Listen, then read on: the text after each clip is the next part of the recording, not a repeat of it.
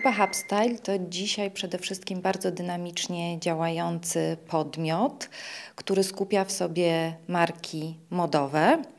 E, doskonale nasza strategia wpisuje się w najszybciej rosnący kanał dystrybucji odzieży, czyli e-commerce i koncentrujemy się głównie na budowie bardzo silnych marek lifestyle'owych.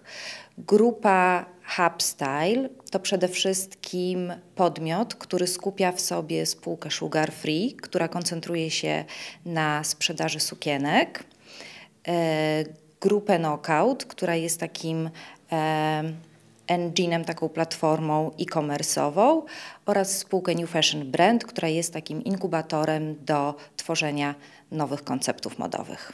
Strategia grupy rozwoju HubStyle na najbliższe kwartały koncentruje się głównie na czterech obszarach, czyli rozwoju marek, które już istnieją, ich skalowalności, doprowadzenia do rentowności kolejnych nowych konceptów, które powstały w niedawnym czasie oraz budowaniu bardzo silnych przewag konkurencyjnych na rynku modowym.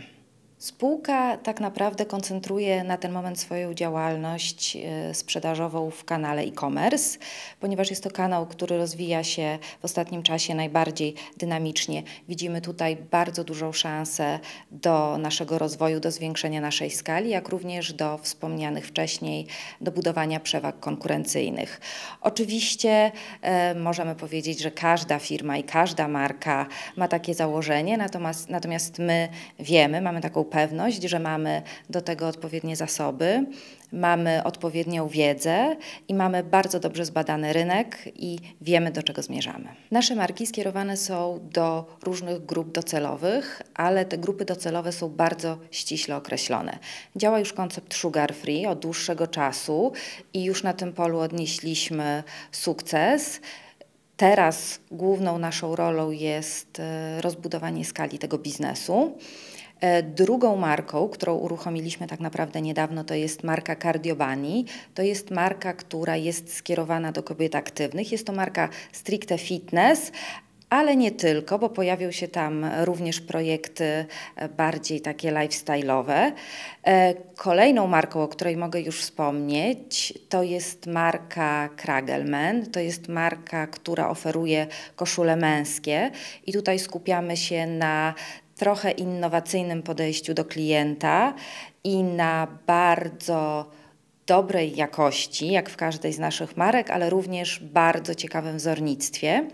Kolejną marką to jest marka Freakilix, to jest marka skierowana do e, trochę młodszej e, grupy docelowej.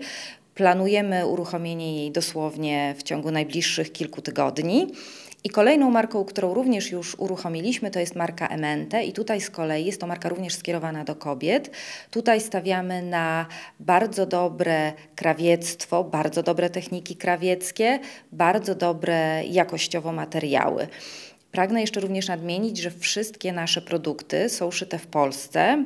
W związku z tym mamy bardzo krótki czas reakcji na zmieniające się trendy i na potrzeby klienta.